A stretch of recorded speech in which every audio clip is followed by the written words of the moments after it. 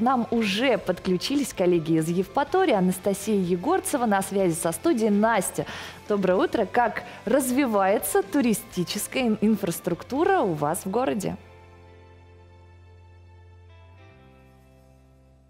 Доброе утро, коллеги. В девяти регионах Крыма упростили правила выхода в море для водного транспорта. Теперь владельцы маломерных судов не обязаны отчитываться перед сотрудниками пограничной службы о своих намерениях. Очевидно, это э, в первую очередь сделано для повышения туристического бизнеса, но вот и как поправки в законе отразятся на другие проверяющие службы. У нас в гостях Сергей Рамадановский, э, старший инспектор государственной службы участка ГИМС. Э, здравствуйте, Сергей Викторович. Скажите, как нововведения в законе а, повлияют на вашу работу?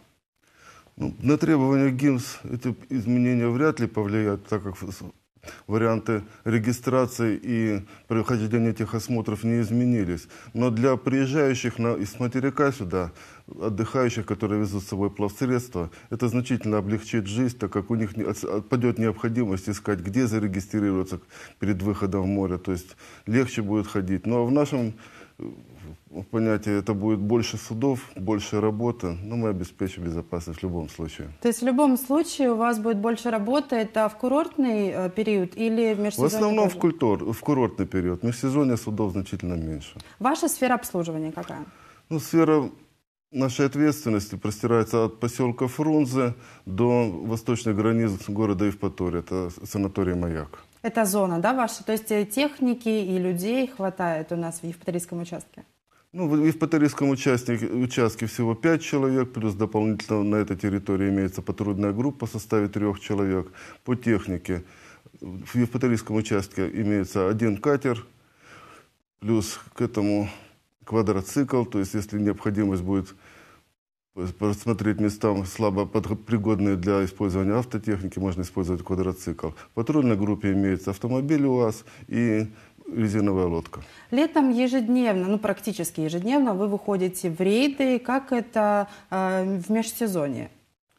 В межсезонье у нас больше направленность на профилактическую работу.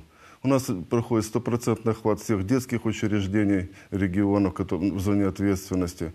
Мы согласовываем с отделом курорта и с делаем народного образования график посещений школ и проводим там лекции, занятия, открытые уроки, викторины. То есть информирование детей проходит в разной форме. А, кроме этого, кроме профилактических мероприятий, еще есть какие-то? Или все-таки зимой это документация, это лекции и все? Нет, конечно. У нас регулярно проходит патрулирование. При этом зимой значительное внимание уделяется внутренним водоемам, так как вероятность образования льда на них выше.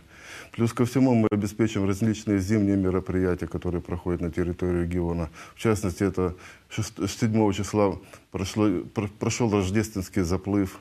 На 19 число планируется обеспечение крещенских купаний. При этом с 18 на 19 в ночь очень большое количество людей именно проходит омовение в воде. Так, в частности, в районе пляжа Солнышко ночью бывает в районе 12 часов до 1000 человек.